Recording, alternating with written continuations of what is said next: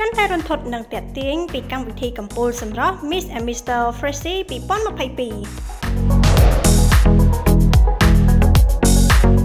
កម្មវិធីកម្ពុជាសម្រាប់ Miss and Mr. Freshy 2022បានចូលដល់វគ្គកាន់តែរន្ធត់និងចាប់អារម្មណ៍ព្រោះតែបេក្ខជនបេក្ខនារីម្នាក់ម្នាក់សឹងតែមានរូបសម្រស់ស្រស់ស្អាតនិងតាក់ទាញរៀងៗខ្លួនចាស់ស្ដែងនៅក្នុងការបង្ហាញសមត្ថភាពតាក់ទងនឹងប្រធានបទការអប់រំ គេសង្កេតឃើញថាបេក្ខភាពម្នាក់ម្នាក់បានបង្ហាញពីសមត្ថភាពរបស់ខ្លួនតាមរយៈការនិយាយដ៏ល្អ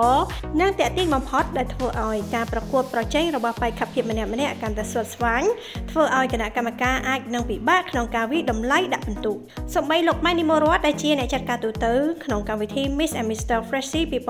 2022ក៏លន់មាត់សរសើរបេក្ខភាពត្រៀមផ្ដាច់ព្រាត់នាពេលខាងមុខនេះផងដែរថាសុទ្ធតែមានសមត្ថភាពនិងរូបសម្រស់មួយបែបម្នាក់ដែលបានតាក់ទាញចិត្តគណៈកម្មការជាខ្លាំងហើយពិតណាស់ថាការដាក់បន្ទុកនាពេលខាងមុខនេះនឹងធ្វើឲ្យគណៈកម្មការពិបាកនៅក្នុងការវិតម្លៃលោកបានកោតសរសើរចំពោះបេក្ខភាពនានាបានខិតខំប្រឹងប្រែងក្នុងការវឹកហាត់និងការនិយាយស្ដីកាន់តែល្អឡើងល្អឡើងធ្វើឲ្យការប្រកួតប្រជែងមួយនេះពិតជាស្វិតស្វាញខ្លាំងនិងទទួលបានការគាំទ្រពីទស្សនិកជន